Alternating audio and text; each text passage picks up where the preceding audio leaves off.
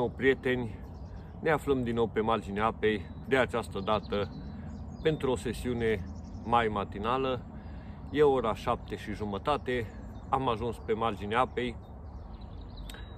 Azi vom pescui uh, pe un singur vad, cu o singură tehnică și anume rubeziana. Vom aborda pescuitul în margine. Pescuim aici în marginea stângă cum am zis, folosim un singur top kit. Avem o linie de 0,18 pe un elastic de 10-12 o plută de 0,20 de grame, foarte, foarte sensibilă, niciun plumb pe fir, în capătul liniei un cârlig numărul 10, legat direct pe fir, fără forfac. Iar la cârlig vom folosi pastă avem o pastă pe care am pregătit o pastă din griș, din semolina, cum vreți voi să o numiți, în care am adăugat uh, turmeric sau șofran pentru culoare și um, praf de scorțișoară. Ca și nădire, pe vad vom folosi peleți Halibut de 6 mm amestecați cu bob de mălai. Nu am pus apă, însă am golit cutia de, de porumb cu tot cu apa aia din ea. Peleții s-au muiat puțin. Am pus două softpoturi medii de nădire pe vad. Softpotul mediu îl am pe cel de-al doilea top kit. Am sondat adâncimea, am reglat pluta astfel încât cârligul să stea exact pe substrat. Greutatea pastei va poziționa pluta în poziție corectă, de aceea nu mai avem nevoie de niciun fel de plumb, deoarece pluta este foarte sensibilă. Am pus două soft poturi, stăm, bem o guriță de cafea și ne apucăm și de pescuit să vedem ce putem obține de la partida de azi. și hai să pornim și pescuitul. Luăm așa niște pastă și învelim cârligul pur și simplu. Totdeauna trebuie să udăm puțin degetele înainte de a face pasta. Stă mai bine pe cârlig.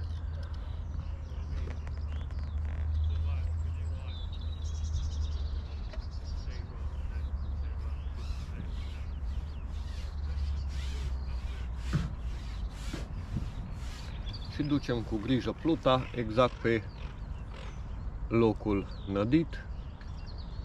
Lăsăm gogoloșul să coboare încetul pe substrat și așteptăm ca pluta să se scufunde. Și iată-ne și cu primul drill.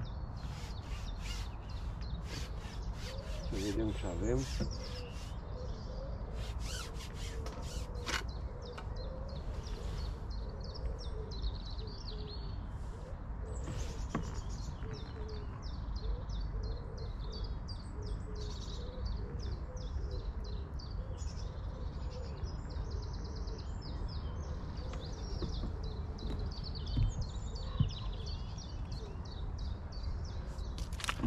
Ah. Și-a plecat. A rupt și-a plecat. Uh. Asta e. Încercăm din nou. Vedem dacă de data asta reușim să-l și aducem. Data trecută am forțat un pic. No, no, no, no, no, no, no, no.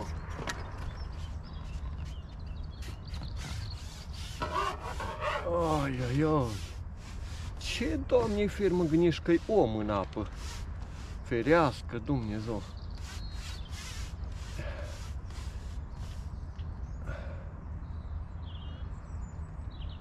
Incredibil, eu n-am mai pățit așa ceva, nu știu ce pește e ăsta.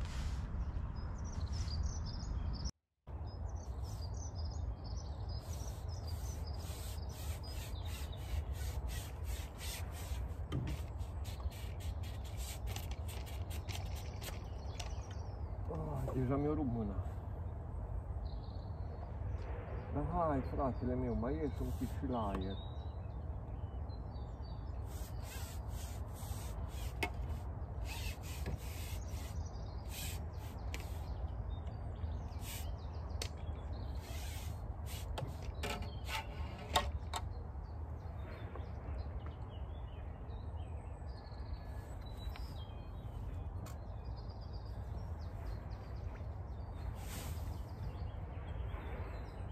Vedem dacă cumva reușim să îl aducem.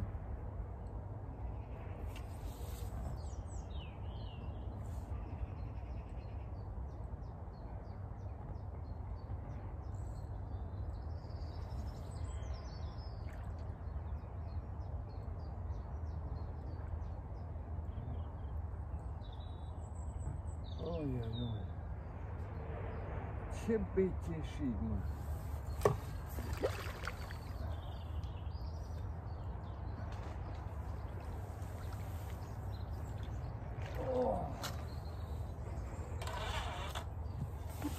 Oh. Oh.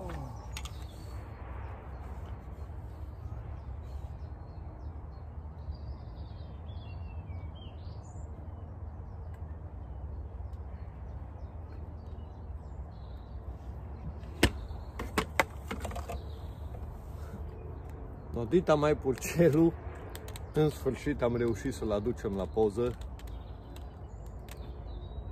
Nu știu cât are, dar e frumos tare. E greuț, așa în mână.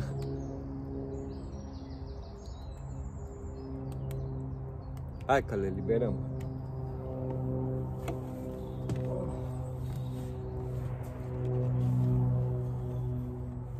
Huh.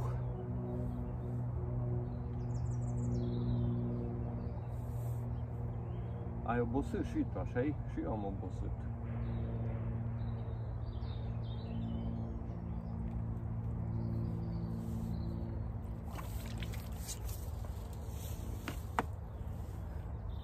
În sfârșit.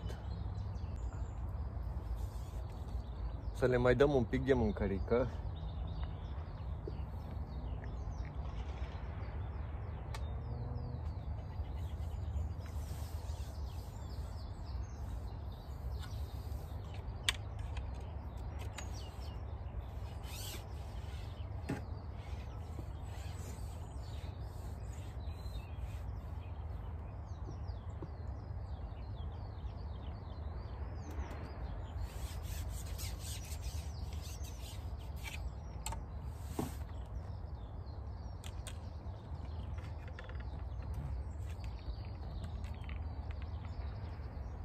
Uf. Eu rup mâinile, domnul Crap. Dar, în schimb, e frumos să ai așa un crap pe o linie de plută.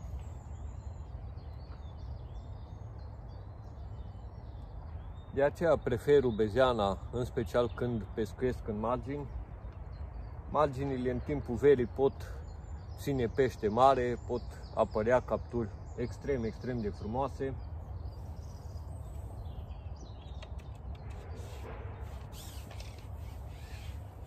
Iar cu o vargă fixă, șansele să îl aduci la poză sunt destul de mici. Desigur, se poate folosi lanseta match și aici în margine, cu o plută Wagler și plumbul pe substrat. Însă, ă, prefer ubeziana, îmi dă puțin, nu știu, unul la mână e nădirea în punctul fix și plantarea cârligului exact pe patul de nadă. Și în al doilea rând e Uh, pur și simplu adrenalina care ți oferă un drill cu rubeziana.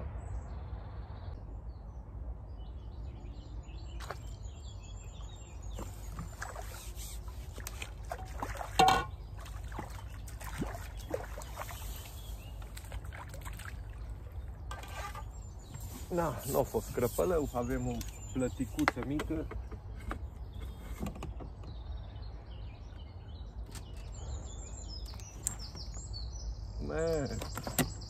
obraznicule.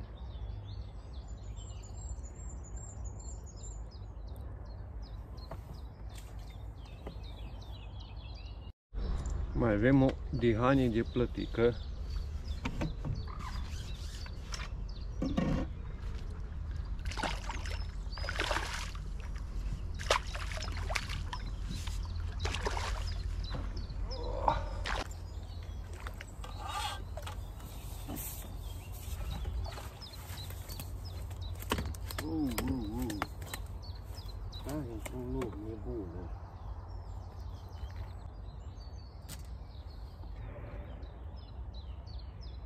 Dita mai plătica.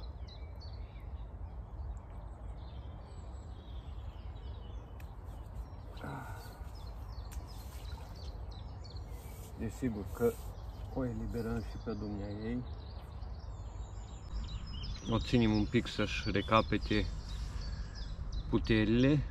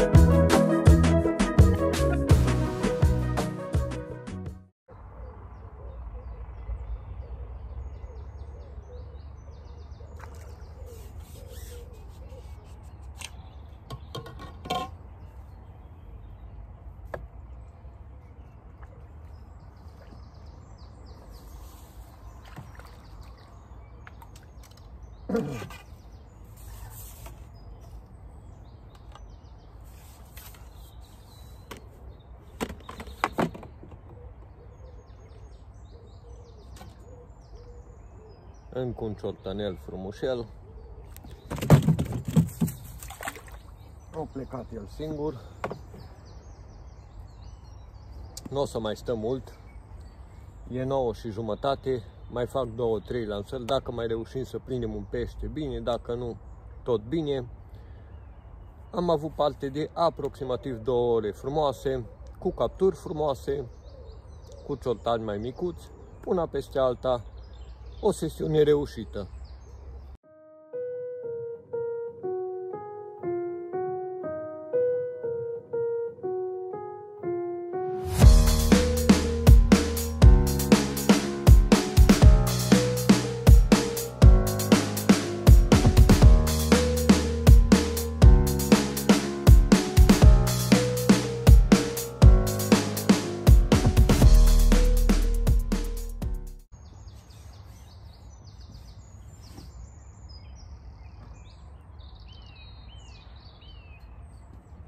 Vom încheia și acest videoclip.